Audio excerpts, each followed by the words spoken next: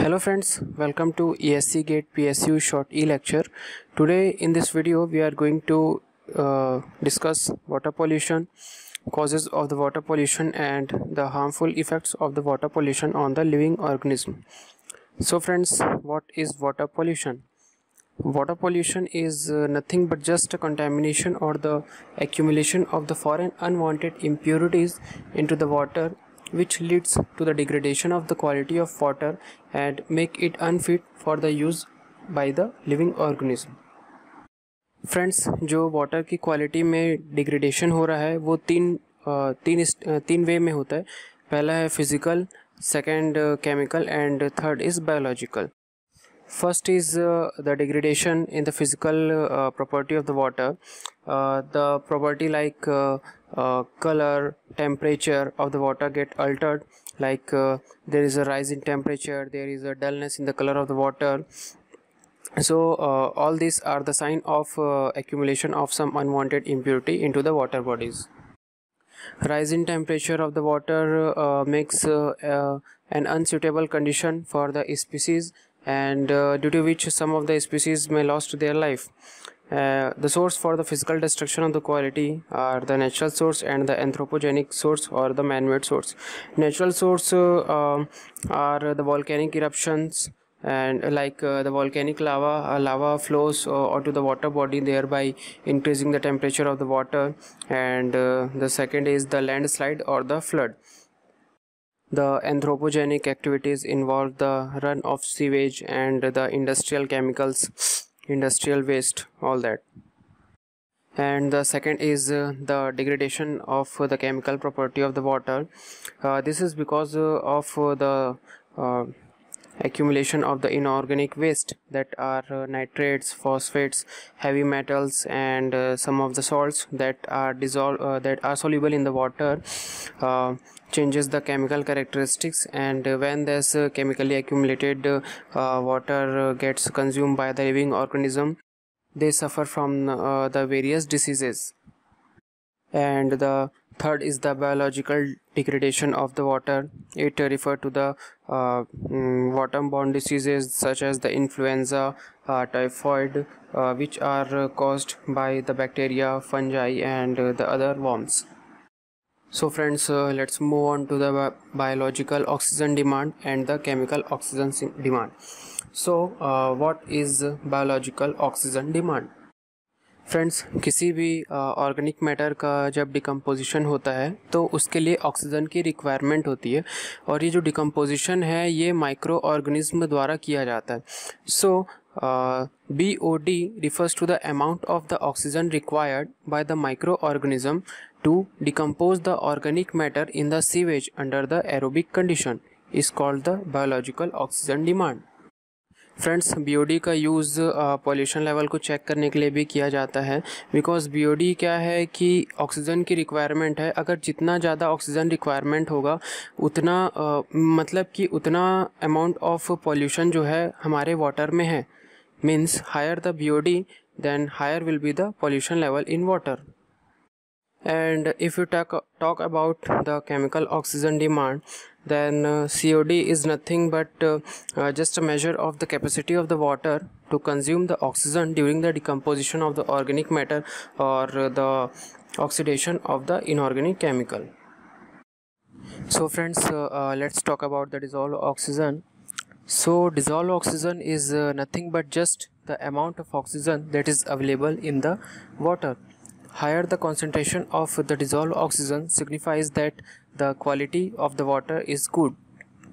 And as the dissolved oxygen content lowers in the water uh, means uh, the pollution uh, level in the water is increases as the level of the dissolved oxygen decreases. Dissolved oxygen content gets uh, lower when the water get contaminated by the organic waste.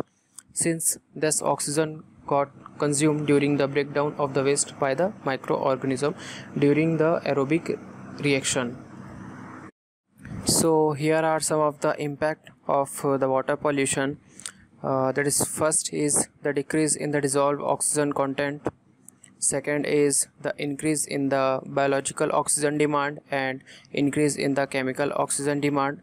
The third is the eutrophication friends eutrophication refers to the enrichment of the nutrients in the water bodies which leads to the unwanted which leads to the unwanted growth of the plants fourth is the biomagnification and fifth is the threat to the life of species belonging to the aquatic ecosystem so friends बात करते हैं eutrophication की। Friends अगर किसी भी एक particular water body में अगर हम कंटिन्यूसली केमिकल वेस्ट को डंप करते जाएँगे करते जाएँगे। तो कुछ समय बाद उस वाटर बॉडी में जो हार्मफुल केमिकल्स है, कुछ न्यूट्रिएंट्स है, उनका जो लेवल है वो बहुत ही ज़्यादा बढ़ जाएगा। जिसके कारण जो फाइटोप्लैंक्टॉन्स होते हैं या एक्वेटिक वीड्स होते हैं, उनकी जो ग्रोथ रेट है वो बहुत ही ज़्यादा इंक्रीज़ हो जाएगी।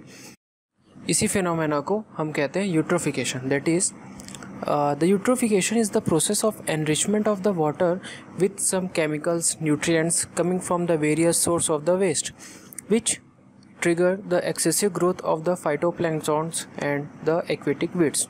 This is called the eutrophication process. Actually, the eutrophication process can be uh, can happen by the by the natural process or some cultural or the accelerated process. The natural one is called the natural eutrophication and the second is called the accelerated eutrophication which is caused by the anthropogenic activities.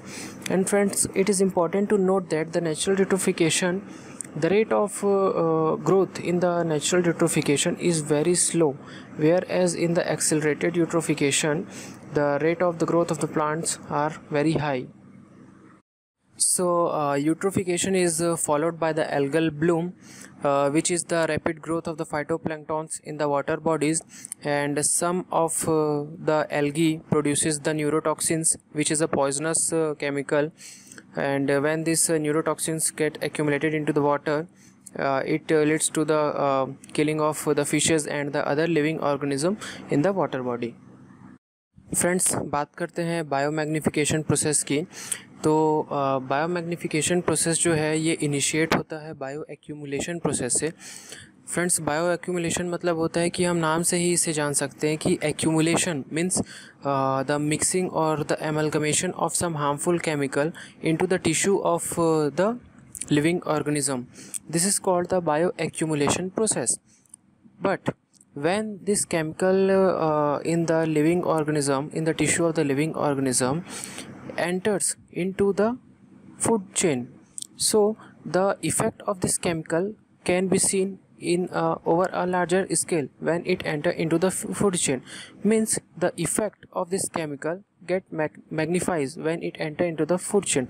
So this process is called the magnification. Means the biomagnification is the process through which certain pollutant are accumulated in the tissues of a species in a higher concentration along the food chain. Is called the biomagnification and the bioaccumulation is the first step of the biomagnification. Means the accumulation of the chemical in the tissue is the bioaccumulation process and when this chemical enter into the food chain and magnifies its negative effect this process is called the biomagnification. So so friends इस picture में हम देख सकते हैं कि एक ये water body है जहाँ पर वेरियस सोर्स से पॉल्यूटेंट जो है वो डंप किया जा रहा है। जैसे कि ये एक इंडस्ट्री है, यहाँ से पॉल्यूटेंट जो है डंप किया जा रहा है। ये एक एग्रीकल्चरल फ़ील्ड है जहाँ से नाइट्रोजिनस वेस्ट या तो फिर फॉस्फोरस वेस्ट जो है वो इस वाटर बॉडी में डंप किया जा रहा है। इससे इस डंपिंग के कारण जो है ये वाटर बॉडी में जो न्यूट्रेंट लेवल है वो एक लिमिट से ज़्यादा बढ़ जा रहा है, जिसके कारण एल्गल ब्लूम प्रोसेस हो रहा है। Means there is excessive growth of the algae on the surface of that particular water body and these some of these algae produces the neurotoxin chemicals which are poisonous in nature and are causing harmful effects to the living organism of that particular water bodies. So here is a list of some of the harmful chemicals along with their sources and the harmful effect. So the first is mercury. Source of the mercury pollutant are the paper paints and the plastic industries. And uh, the exposure to the mercury causes the Minamata diseases. Second is lead uh, lead uh, are uh, originated from the paint industries and the automobile exhaust and exposure to the lead can cause anemia and the kidney disorder. Third is cadmium. Cadmium are originated from the electroplating industries and exposure to the cadmium can cause ethie disease skeleton deformity and the kidney disorder. Fourth is nickel nickel are uh, originated from the combustion of the fuel and the incineration and the harmful effect of the nickel is uh, uh, it can cause some skin diseases and some lung disorder. Fifth is chromium. Chromium are originated from the uh, cement and the asbestos industries and exposure to the chromium can cause carcinogenic diseases. And the last is the arsenic arsenic are originated from the pesticides industries herbicide in industries and some of the mining waste. And uh, exposure to the arsenic can cause the arsenicosis disease. So friends uh, moving on to the bioremediation. So bio bioremediation process is uh, uh, the breaking down is the process of the breaking down of uh, the pollutant or a particular uh, water bodies or particular ecosystem with the help of the microorganism. Bioremediation process can occur by its own and it is called the intrinsic bioremediation process and if it is done artificially then it will be called as the biostimulation processes some of the microorganisms that are being used uh, for the bioremediation processes are first the pseudomonas putida. It is used to clear uh, oil pollution. Means uh, if uh, there is a oil spill in any particular ocean then pseudomonas putida microorganism can be used to for the breakdown of that particular oil.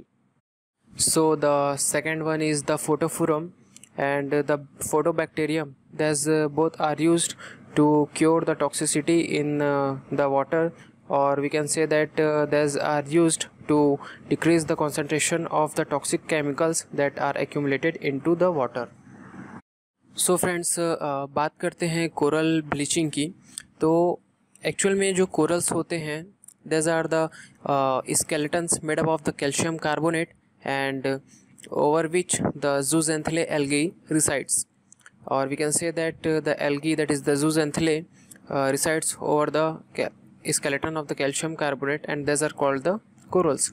And when the temperature of the water increases these corals get stressed and they expel a symbiotic algae that is the zooxanthellae living in their tissue and causing them to turn completely white.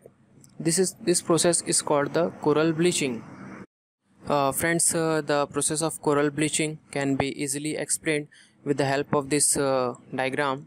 In the figure uh, in the figure 1 we can see that the coral have uh, the yellow color which signifies that uh, there is adequate amount of zooxanthellae algae residing on the skeleton. And these these corals are can be considered as the healthy corals and in the second figure uh, we can see that the color of the coral are slightly lighter than the previous healthy corals. Means the coral in the second figure are under some stressed condition and uh, uh, this signifies that the coral start to expel uh, there's uh, zooxanthellae algae. And in the figure 3 we can see that the corals are turned completely white which means that uh, they have uh, completely expelled all the zooxanthellae algae and turns completely white. So friends i hope uh, coral bleaching is clear to you and that's all about the water pollution. And friends if you like this video then please do subscribe our youtube channel and you can also like our facebook page